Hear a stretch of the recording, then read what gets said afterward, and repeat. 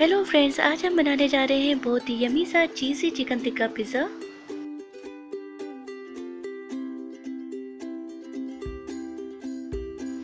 pizza बनाने के लिए सबसे पहले हम इसकी टो तैयार करेंगे। डो के लिए हमने यहाँ पर आधा किलो मैदा लिया है। कप्स में दो कप के करीब मैदा हम यूज़ करेंगे। Oil one tablespoon sugar one teaspoon egg one other salt one teaspoon yeast हमने टू टेबल स्पून ली है भरकर। ये इंस्टेंट ईस्ट है। Butter 25 gram. वार्म वाटर हम यूज़ करेंगे आधा कप और आधा कप हम यहाँ पे मिल्क यूज़ करेंगे। लेकिन पानी और मिल्क हम उतना ही यूज़ करेंगे जितनी हमें ज़रूरत होगी। तो चलें तैयार करते हैं पिज़्ज़े की डो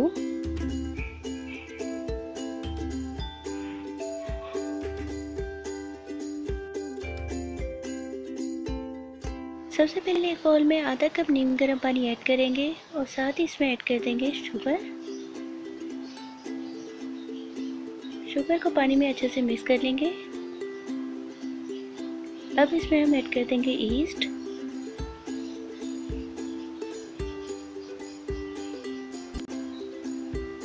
ईस्ट को भी मिक्स करेंगे और फाइव मिनट्स के लिए इसे कवर करके रख देंगे ताकि ईस्ट जो है वो राइस हो जाए। मैदे को हमने छान लिया है, अब इस तरीके से इसके सेंटर में जगह बनाएँगे। और इसमें शामिल करेंगे एग सॉल्ट बटर इसमें शामिल कर देंगे। स्पून की मदद से बटर को मैश कर देंगे।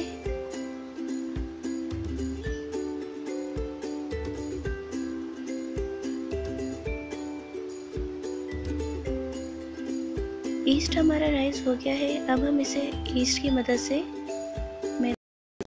गूंद लेंगे। थोड़ा थोड़ा करके आप ईस्ट में शामिल करते जाएँ और डो को अच्छे से गूंदते जाएँ। साथ ही हम इसमें दूध भी शामिल करेंगे। जितनी हमें ज़रूरत होगी, उतना ही दूध हम इसमें शामिल करेंगे।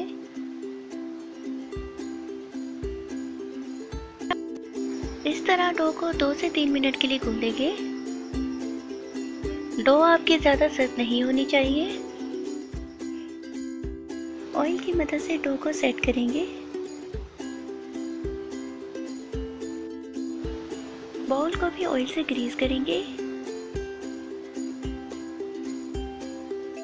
डो को दो से तीन घंटे के लिए कवर करके रख देंगे ताकि अच्छे से राइज हो जाए। गर्मियों में डो दो से तीन घंटे में राइज हो जाती है, लेकिन सर्दियों में इसे ओवरनाइट के लिए रखा जाता है। पिज़्ज़ा बनाने के लिए जो चीज़ें हमें चाहिए वो कुछ इस तरह से है। हम यहाँ पर आधा किलो बोनलेस चिकन यूज़ कर रहे हैं। जिसको हमने क्यूब में कट कर लिया है। सिरका one teaspoon, chilli sauce one tablespoon soya sauce one tablespoon olives. जितनी ज़रूरत होगी हम उतने ही यूज़ करेंगे। Ginger garlic paste one tablespoon chopped garlic one tablespoon black pepper one teaspoon crush red chilli one tablespoon salt to taste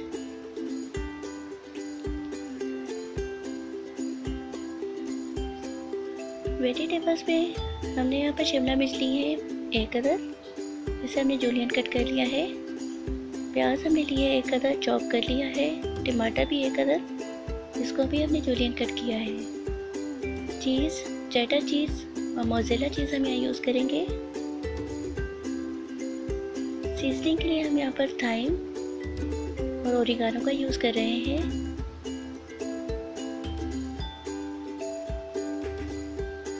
तो चलिए आए बनाते हैं पिज़्ज़ा चिकन को सबसे पहले मैरिनेट करेंगे, तमाम सॉसेस इसमें शामिल कर देंगे। जिंजर गार्लिक पेस्ट भी इसमें शामिल कर देंगे और साथ ही ड्राई स्पाइसेस भी इसमें जाएँगे। अच्छे से इसे मिक्स करके 15 मिनट के लिए इसे रख देंगे। एक पैन में वन टेबल स्पून ऑयल गरम करेंगे और इसमें शामिल कर देंगे मेरीनेटेड चिकन अब इसे पाँच मिनट तक कवर करके पकाएँगे ताकि चिकन अच्छे से गल जाए। आफ्टर फाइव मिनट अब हम इसे भून लेंगे। चिकन टिक्का हमारा रेडी हो गया है, उसका पानी भी ड्राई हो गया है, अब हम इसे साइड पे रख देंगे। डो अच्छे से रेडी गई है, ये देखें। ये डबल हो गई है। हाथ पर ऑयल लगाकर अब हम इसे एक से दो मिनट के लिए और इस तरीके से घूम लेंगे। आप हाथ की मदद से भी इसे इस तरीके से फैला सकते हैं या रोलिंग पिन के ज़रिए। रोटी की तरह से बेल सकते हैं।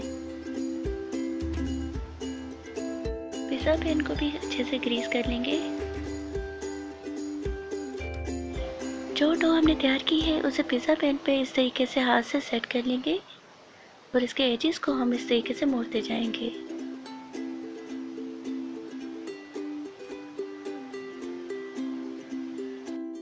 इस पे अच्छे से पिज़्ज़ा सॉस लगाएँगे। पिज़्ज़ा सॉस की रेसिपी हम आपसे पहले ही शेयर कर चुके हैं। साथ ही इस पे जाएगा केचप इसको भी अच्छे से स्प्रेड करेंगे। इस पर गार्लिक ऐड करेंगे।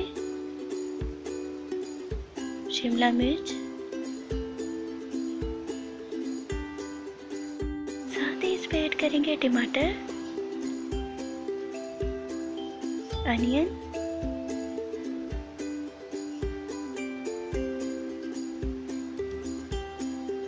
थाइम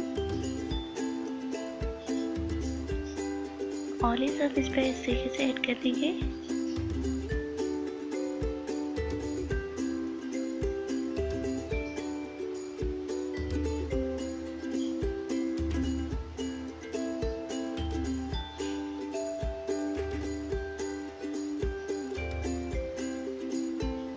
ओरिगानो और तिक्का इस पर ऐड कर देंगे। अब इसमें चेडर चीज़ और मोजेरा चीज़ ऐड कर देंगे, जो मैंने पहले से ही कद्दूकश करके रख ली है। आप जितनी चीज़ जानना चाहते हैं, उसमें ऐड कर सकते हैं। मुझे ज़्यादा चीज़ पसंद है, इसलिए मैं ज़्यादा चीज़ ऐड कर रही हूँ। हमने एक बड़े से बर्तन में सॉल्ट ऐड करके इसे प्री हीट के लिए 15 मिनट पहले रख दिया था। ये प्री हीट हो गया है। अब इसमें पिज़्ज़ा ऐड करके पिज़्ज़े को 25 मिनट के लिए कवर करके पकाएँगे और फ्लेम को लो रखेंगे। आफ्टर 25 मिनट पिज़्ज़ा बिल्कुल रेडी हो गया है। नीचे से भी अच्छे से सीख चुका है और बहुत अच्छा कलर आ गया है।